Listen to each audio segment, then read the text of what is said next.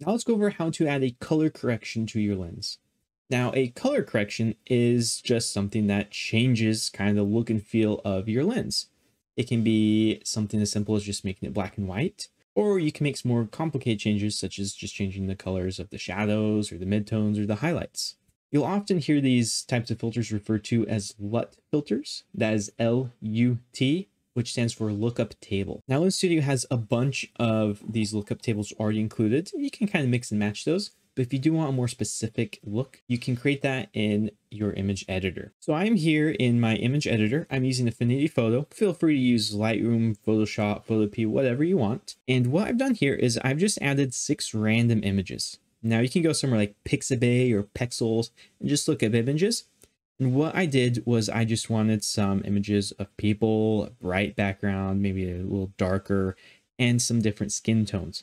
Because since we're messing with the colors, we want to make sure that it looks good in as many places as we can. Now, if we zoom in the middle, you'll notice this little blocky picture here. So this is the base lookup table that Lens Studio uses. Now, you don't need to create this from scratch or anything. Uh, Lens Studio actually provides it to us go to back to your browser and on the Lens Studio website, uh, just search for lookup table. And here in our search results, um, in the guide section, we want to click on post effect. And if we scroll down just a little bit, we can see the base lookup table. So if you click that link, it'll just be the image. So you can right click save image as, and then open it up in your editor. So here I've just opened it as a new layer. So I have my base lookup table just as its own layer here. And then I just group the rest of my images here we'll be able to see what those adjustments are doing with all these sample images.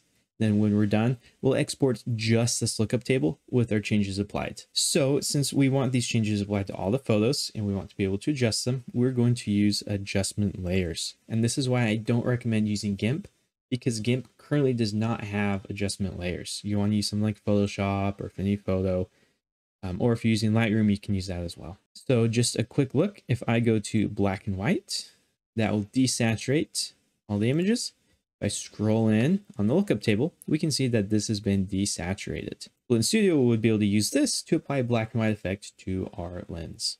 Okay, so I've added a couple adjustment layers. It's nothing fancy.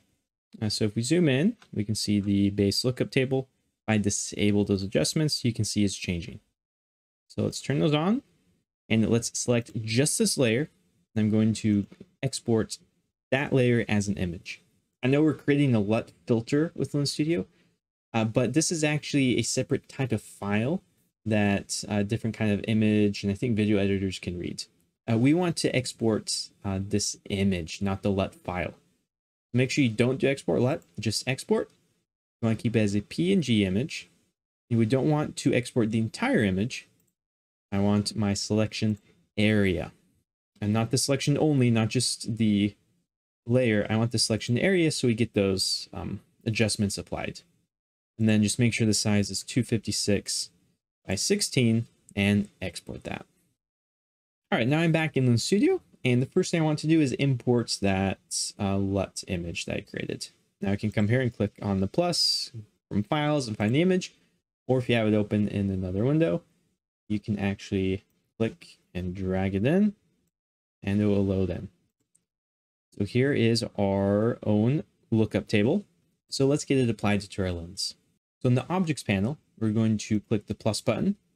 We want to scroll down and we can see inside post effects, there's a color correction. But what I actually recommend is adding a color correction here. The reason being, these ones, we can adjust the strength of them. Uh, so go ahead and just select any that you want. Uh, you can choose empty. It's no post effect. Now you can see here, we have a new a post effect added to our scene. And in the inspector panel, we have this texture. If we click this box, we can select our LUT. And now you can see it is applied to the image. If you decide it's a little too strong, you can bring this alpha down so it's not as pronounced. Now, if you don't want to create your own LUT, uh, Lens Studio has a bunch built in. So if we come back to the objects panel and we go to color correction, you can see all these different ones here. So if we select uh, something like monochrome, Let's turn off the other one we made. You can see this sort of effect here. So if you want, you can actually adjust the strength. You can layer different color corrections together to achieve a unique look.